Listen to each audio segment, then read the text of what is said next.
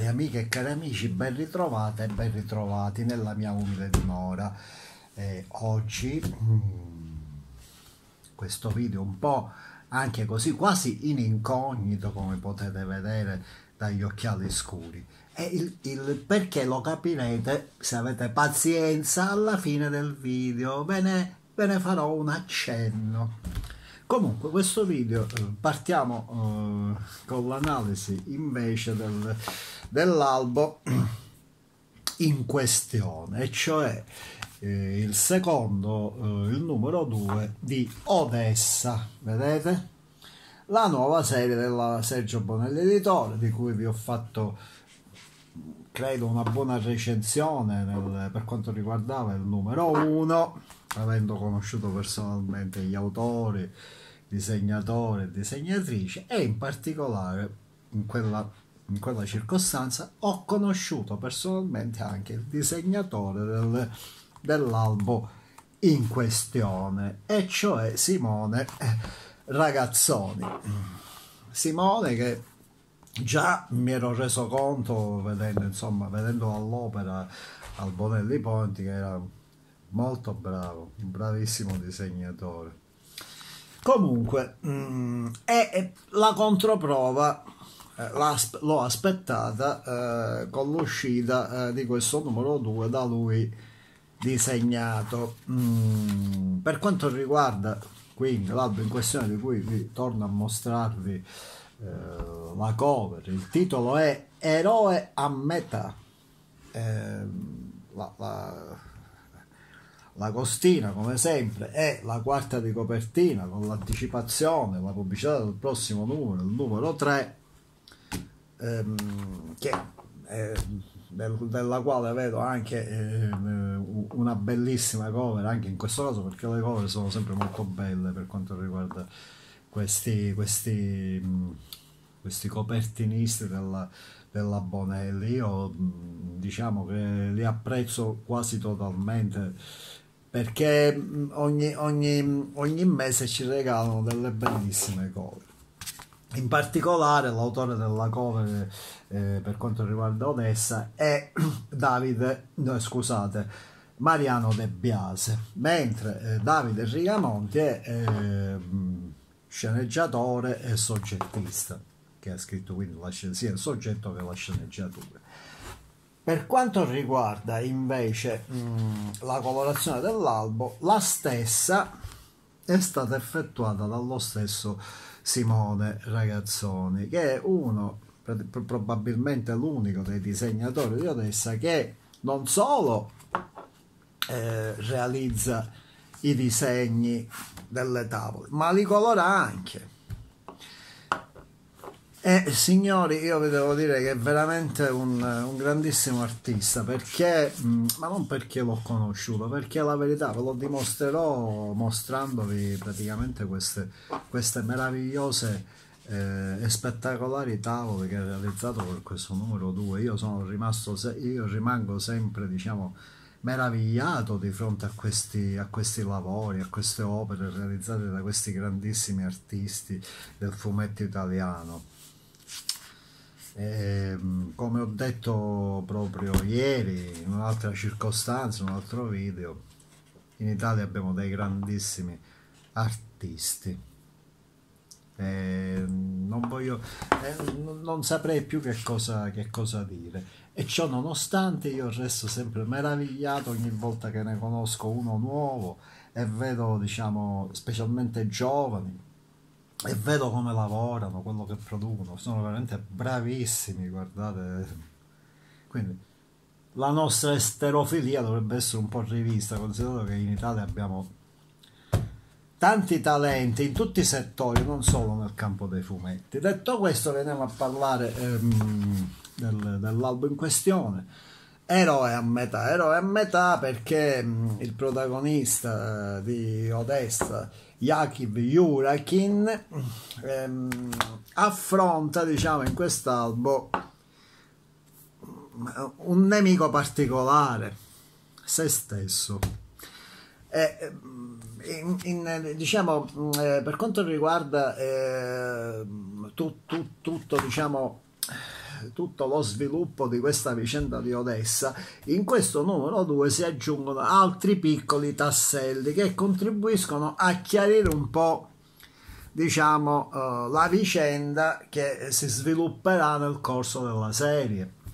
Perché il primo numero lasciava un po' così uno non, non riusciva bene a capire mm, di che cosa stavamo parlando anche se insomma si è capito di che cosa si trattava però diciamo era una, un attimo così. Io stesso avevo detto che non avrei potuto dare un'opinione se prima non avessi letto almeno 3, 4, 5 numeri ecco perché solo così riuscirò ad avere un quadro preciso dell'intero eh, dell'intero soggetto della scena, cioè di, que, di, quello di, di, che riguarda l'albo in sé in questo, in questo numero uh, alcune, alcuni tasselli sono stati messi al loro posto e ho cominciato a capire qualcosa in più. La storia mi è piaciuta, ve lo dico subito.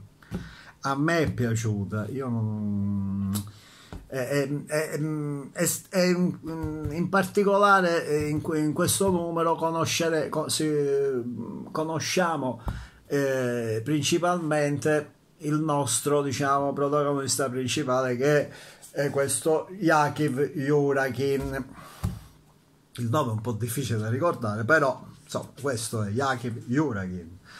Eh, sapete che la storia è ambientata in una cittadina dell'Ucraina e quindi questi sono i nomi. Eh. però è molto bella. Ecco, comunque, veniamo al dunque, cominciando a mostrarvi le spettacolari tavole di cui vi ho parlato. Ecco qua, cominciando dall'inizio ovviamente. Guardate un po' siamo di fronte a, a, non solo a degli spettacolari disegni ma a una colorazione fantastica eccezionale.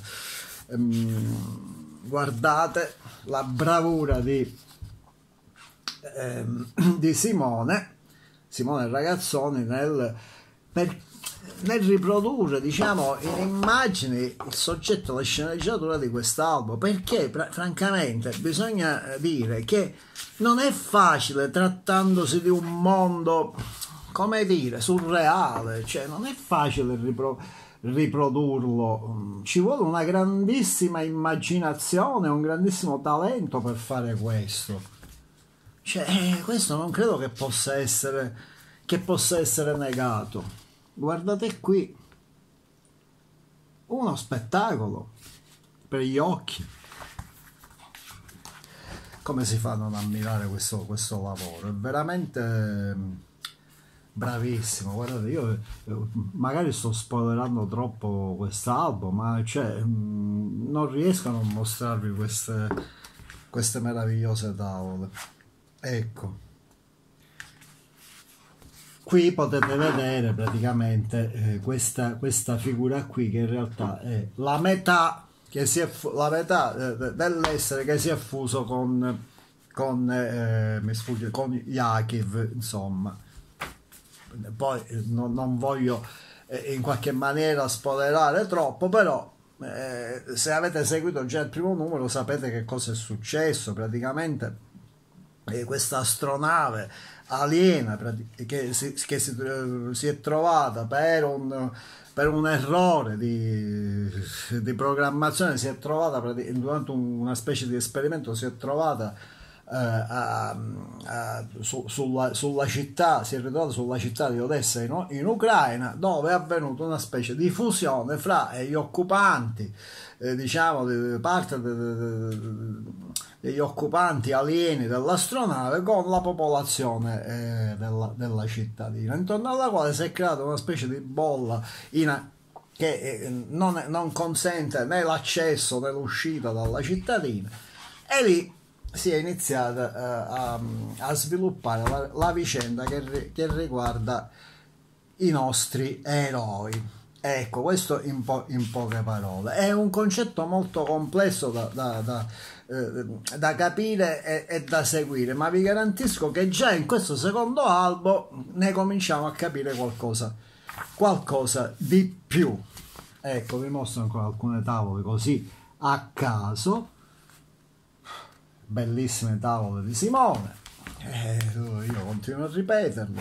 ehm, e vi consiglio praticamente di continuare a seguire questa, questa, uh, questa serie perché sono, sono convinto che, il, che con il proseguo sarà sempre più interessante e migliorerà secondo me ecco all'inizio eh, ci ha lasciato un po' tutti un po' così, un po' perplessi, lo so, io stesso ero un po', mm, non riuscivo bene a, a, a capire dove eh, si andava a parlare, però dopo questo secondo numero ribadisco ho, ho, ho le idee un po' più chiare.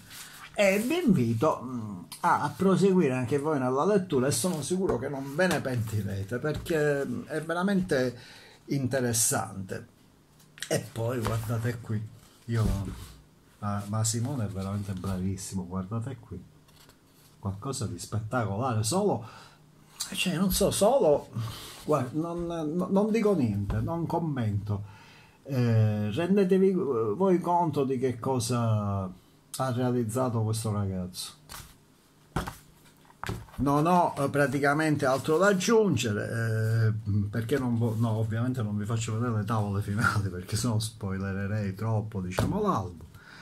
Eh, posso soltanto esprimere una mia opinione che allo stato del tutto positiva anche in previsione di uno sviluppo futuro de, de, dell'intera storia che, che secondo me chiarirà tanti punti e ci appassionerà tutti quanti ehm, eh, convincendoci a continuare a, a seguire la serie eh, in questione, cioè questa, questa Odessa. Detto questo, veniamo al piccolo segreto di cui vorrei mettervi a parte. Ma io, voi sapete che vi dico che secondo me questa qui non è un'opera di fantasia, hanno, hanno, hanno preso dalla realtà perché io, almeno per quanto mi riguarda, io sono convinto che 15 mesi fa è avvenuta la fusione. Ma è la location non era Odessa, era l'intero pianeta. L'intero pianeta. E l'astronave non era quella di Odessa, ma un'astronave diversa, l'astronave smartphone. Mi pare che si, che si, che si chiamasse così. In particolare eh, cioè, per quanto mi riguarda, io vedo che attorno a me, ehm, diciamo, personaggi totalmente fusi con, diciamo, questa, con eh, gli occupanti di questa astronave smartphone, che c'è stata una fusione, almeno per quanto riguarda casa mia da 15 mesi, perché qui, da 15 mesi mia moglie, mia moglie, mia moglie eh, cioè non, non, è, non, è, non, è, più lei, ragazzi, è sempre con le cuffie, è sempre con lo smartphone, si è fusa con lo smartphone, con Facebook, con Instagram, Whatsapp. Poi quando esco la mattina, adesso specialmente che, che vado eh, che per lavoro vado a Milano, in metropolitana, sui pullman, sugli autobus, è un, un, la fusione è avvenuta perché sono tutti fusi con questa Gegio, ragazzi. E ragazzi, guardate, veramente io sono certo che questa fusione c'è stata. A casa mia poi da 15 mesi vivo con una persona che non è mia moglie, perché evidentemente, contrariamente a Yakiv, cioè praticamente eh, la parte, diciamo, aliena ha avuto il sopravvento e quindi io vivo con un'aliena, non so chi sia, ragazzi, eh, mettetevi nei miei panni. A questo punto, cari amiche e cari amici, non posso fare altro che salutarvi con un grosso abbraccio dal profondo del mio cuore eh, augurandovi un buon proseguimento di domenica pomeriggio. Ehm, e dandovi appuntamento sempre a voi piacendo al mio prossimo video che conto di fare a breve perché, perché ho, ho, ho già letto anche il nuovo numero di Nathan Never e ve ne voglio parlare. Alla prossima ragazzi